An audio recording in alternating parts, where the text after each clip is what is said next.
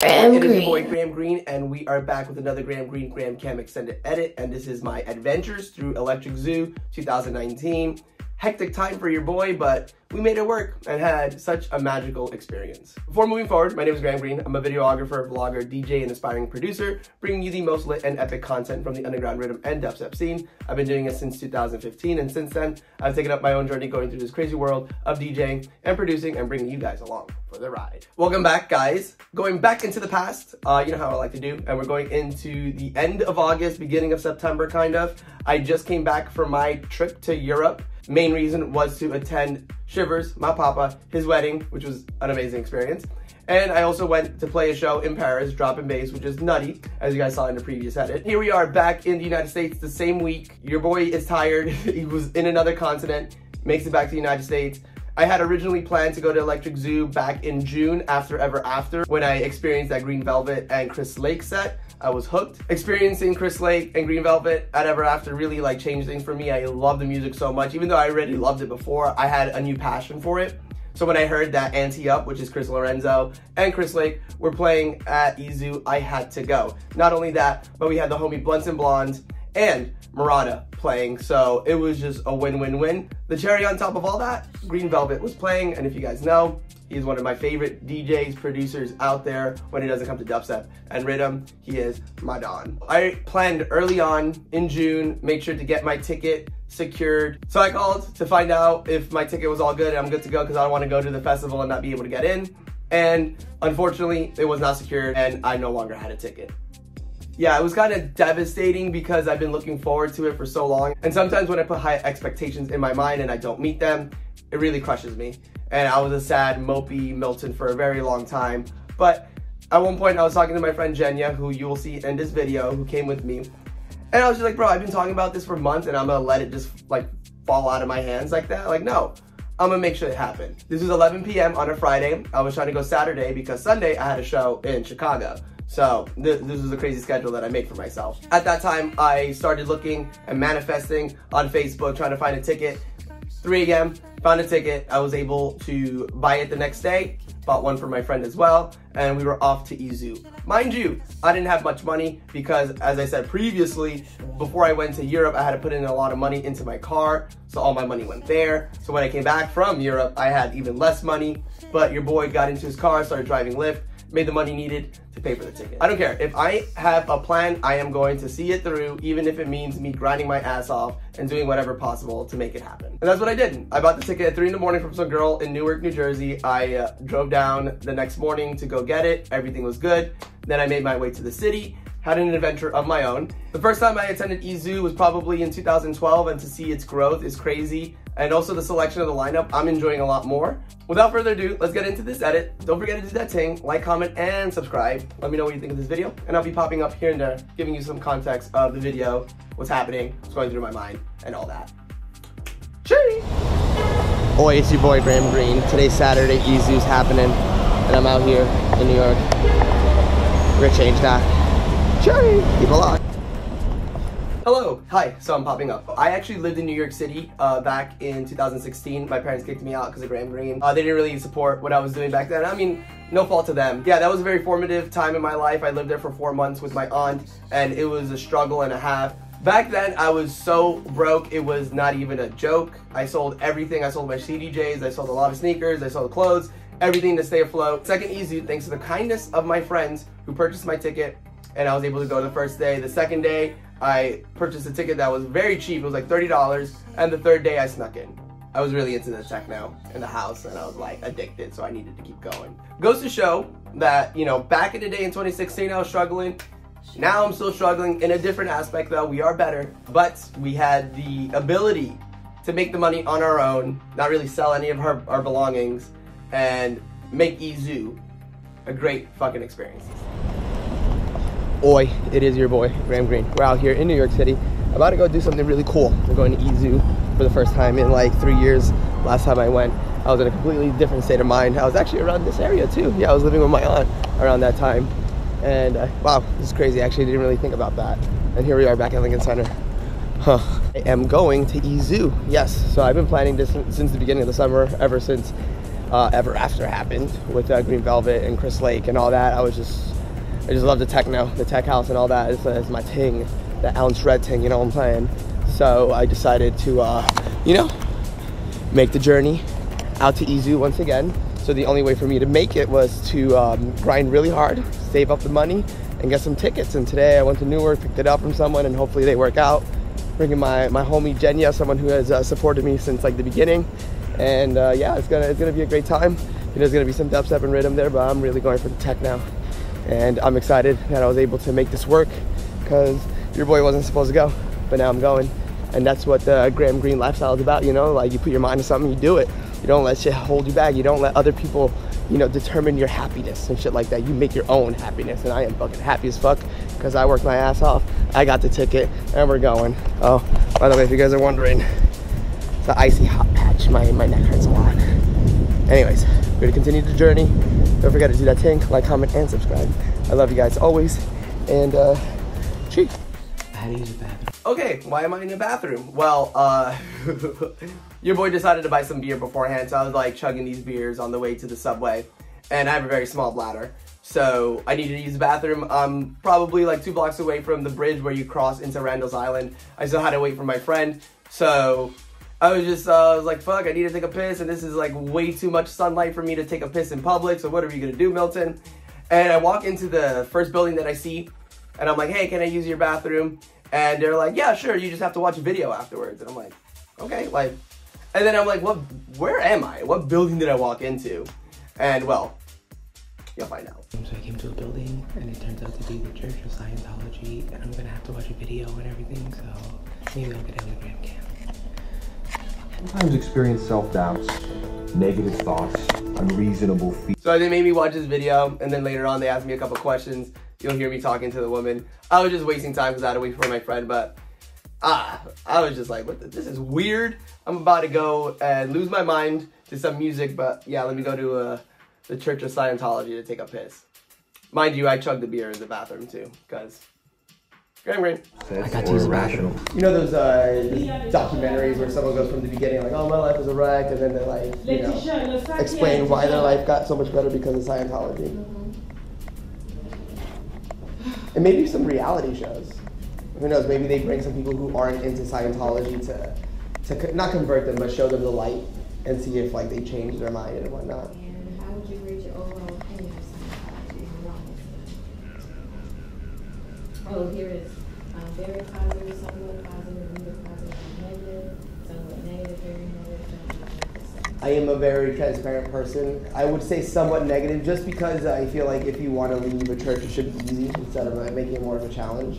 Would, would you like that to be anything else you would like to say? Sure. Yeah. What's your education? Mm, I actually went to college and I graduated. It's the most expensive piece of paper I have in my living room, but you know, I did it. Yeah, yes, bachelor's. Communications at Rutgers in New Brunswick. Yeah. Uh, what did I do with it? I guess I, I started doing my own social media kind of thing. Like I do video work and everything like that. I DJ, I produce music. So I took all that and made it so I have my own company and everything. So I, I can't fire myself, is the best. Right. If I mess up, it's like, oh, we're the only employees. Single as a dollar bill, never married. So after the Church of Scientology, I meet up with my good friend Jenya, who has been a mega supporter of Gram Greene since the beginning. Uh, actually, in 2018, he invested into Gram Greene and helped me purchase a lot of merchandise that I would later sell in Australia and throughout the United States. So this guy has always been on top of it. I love him dearly. He's been trying to go to a show with me for a very long time. So made it happen this time, and I think he had an amazing time. Jenya is someone that I introduced riddim to. Uh, he also likes house and techno, so he's all about the life, but he hasn't gone to too many shows, so this was actually like his first, I don't know, festival kind of thing, especially with me. I feel like anyone who joins me on these ex- excursions usually have really good times, and I'm not just tooting my own horn, but these are facts here we are walking across the bridge. Later on at night, I would walk this bridge again, but it was a lot different at night. It gets really spooky there. Not spooky, but like, there's a lot of walkers as I call them, you know what I mean? So you always gotta watch out for that. Good time tonight. Hey, the second best looking person I know. Right behind me. Hmm? But EZoo, always a great time. I'm just glad that I didn't have to sneak in this time because, you know, your boy is not about that life anymore. Anyways, I'll see you guys soon.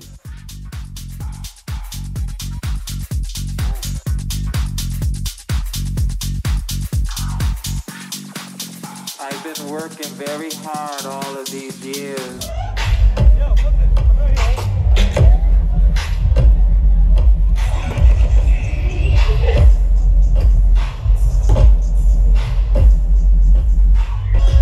Your boy made it.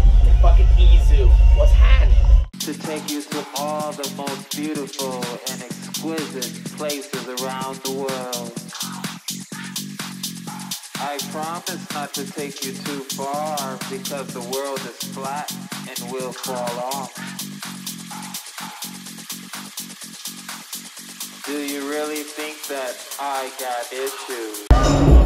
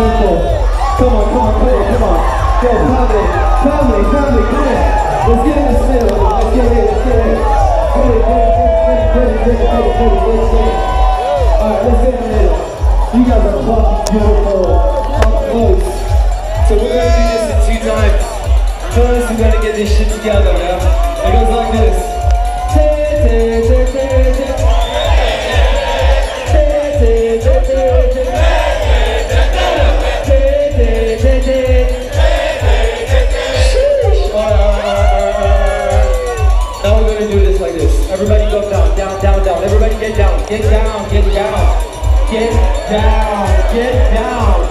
Get down. Everybody get down, get down. Beautiful, beautiful, beautiful.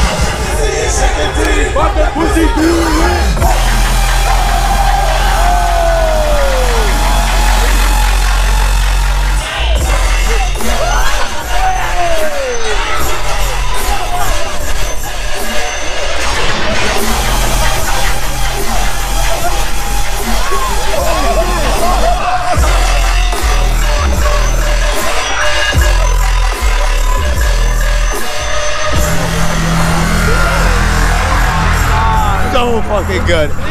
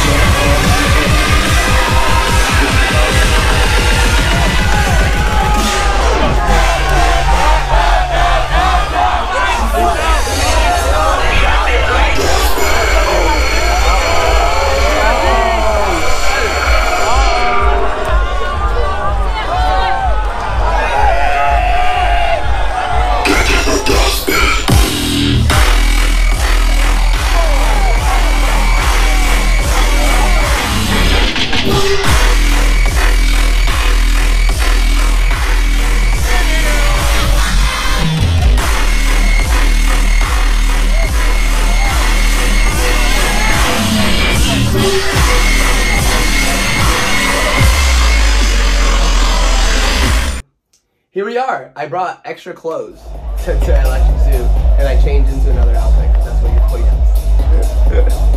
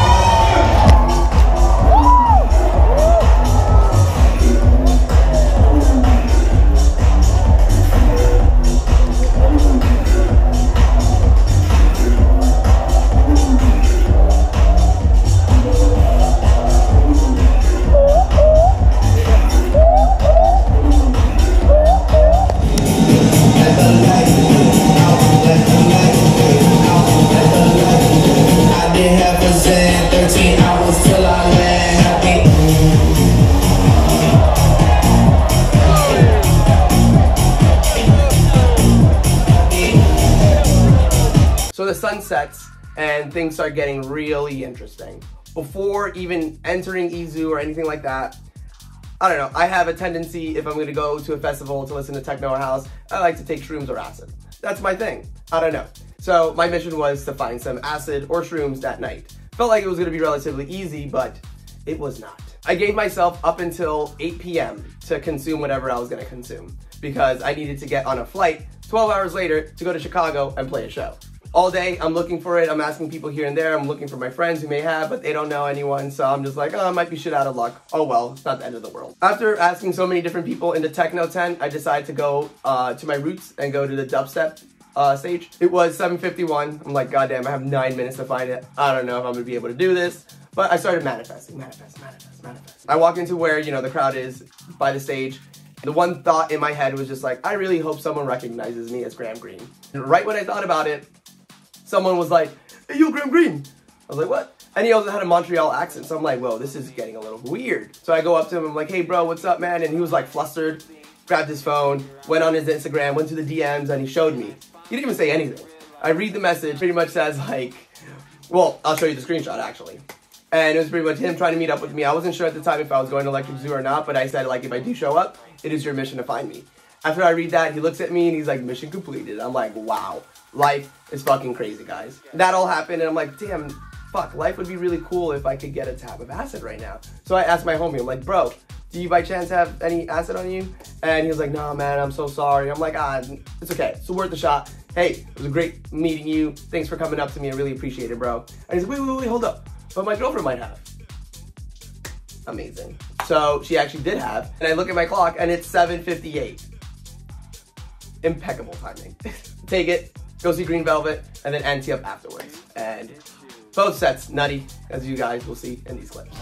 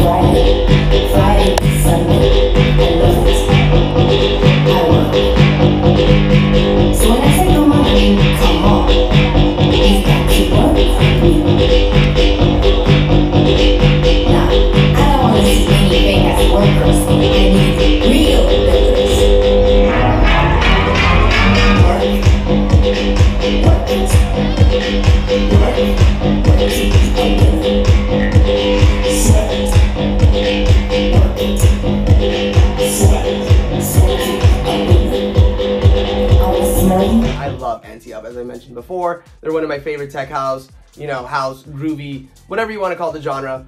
They're my thing. The main reason I went to EZoo, obviously I love Green Velvet. I love Marauda. I love Blunts and Blondes. But the main reason was for Anti-Up. That's why I was willing to dish out $150 for a ticket to go see one person because I am dedicated like that. I love the music so much that I am willing to do that. And I did. Like I said, life works out beautifully.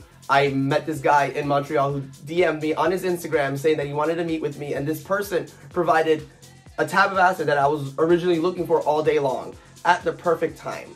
And it gets even better, guys. I'm gonna take you back in time to August when my car first started shitting on me because of the whole Valhalla excursion because I drove like over a thousand miles on a broken axle. Eventually, at the end of August, my car just shat on me. I remember bringing my car to the mechanic. He was driving it around a lot more aggressively than he should have, and literally my axle broke. And he had to get a tow truck. At the time, I had no money, so I couldn't even get a Lyft or Uber, and my house was three miles away. Instead of, you know, trying to figure out that situation, I was like, you know what, Milton, you need to walk three miles and learn that we can't keep doing this shit to our car and we need to take responsibility for our actions. I walked three miles. It took me about like an hour and 30 minutes. I was so tired because half of it was incline. During this uh, three mile excursion, I decided to listen to a song that appeared in my life recently that I used to listen to a lot back in the day. I, I think I heard it on TV or a commercial or something. It is called Where's Your Head At by Basement Jaxx. And this was one of my favorite songs growing up. Totally forgot about it for like more than a decade. Came back to my mind and I'm like, hey, I'm gonna listen to this shit. And that song has become an anthem for me. I always listen to it, always pumps me up.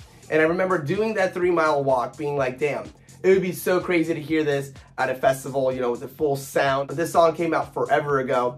Chances of that happening, very slim to none. Oh, oh, oh, not with your boy, Mr. Green. Here we are. The next clip really set me off.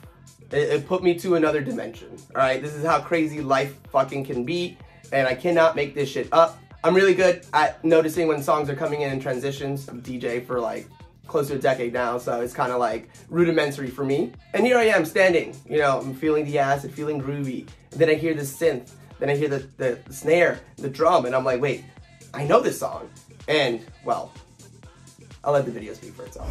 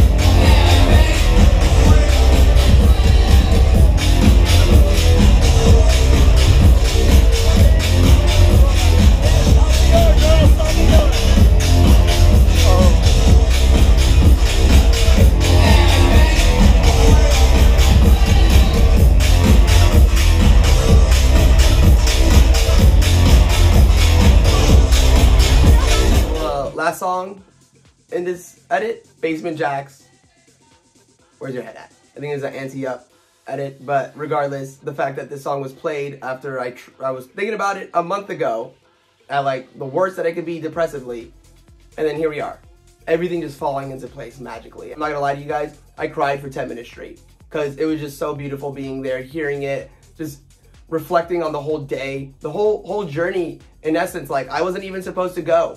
My original ticket wasn't valid anymore, but that didn't stop me. I got in my car, I made $150 in one night, and I bought those tickets. And I went for like what six hours. I really enjoy this this like dedication and drive that I have. Sometimes a little too much, but for moments like these, it really does help me a lot. Knowing that like if I put my mind to something, I can do it. You made it to the end of another Gram Greene. Gram Cam extended edit, and this was of my adventures going through Electric Zoo 2019. Definitely going back if I'm around. Would love to. What happened after this?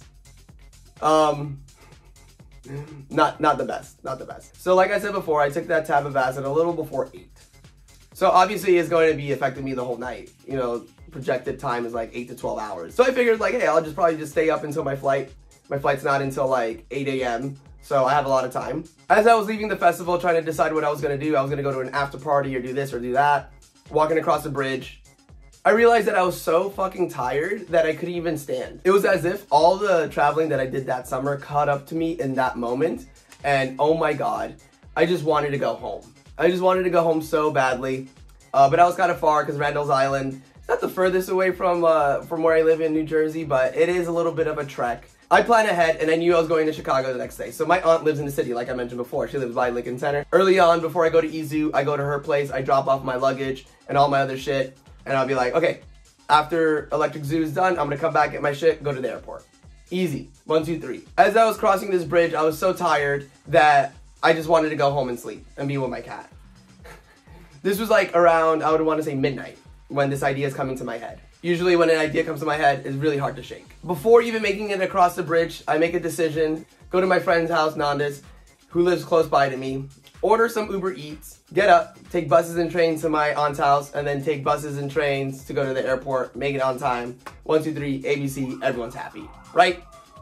Right? Mind you, I could have gone back to my aunt's house, which is literally 20 minutes away from the venue, but I was a little... Next option was going home. But I'm like, actually, I don't want to go home either. Make a decision to go to my best friend's house and chill there until the flight, right? Get across Randall's Island. Once we get into Harlem in New York, is not the best of places to be at night. It was a fucking shit show. There was cops, there was homeless people, there were crackheads, there it was a lot. It was a lot to, to take in. Take an Uber to the George Washington Bridge terminal, and then from there take a bus into my town, and then from there walk to my friend's house. While I'm walking, I order some Uber Eats, $30 worth of food. I'm so ready to chill. I get to his house, I get all cozy, I look at my food, then I wake up at like 6 a.m. my flight's at 8. I'm in New Jersey and my luggage is in Midtown, New York. this is why I don't sleep. I panic, get my shit together, order a Lyft, which was $60 to go to Midtown. Then uh, once I get all my shit from there, order another Lyft, another $60 to go to the airport. I'm at the airport, we make it on time, thankfully. I'm about to take the flight and I was taking Spirit and they saw that I had an extra bag and they charged me another $60 on top of that. Let's not forget about the $30 of Uber Eat food that I did not eat.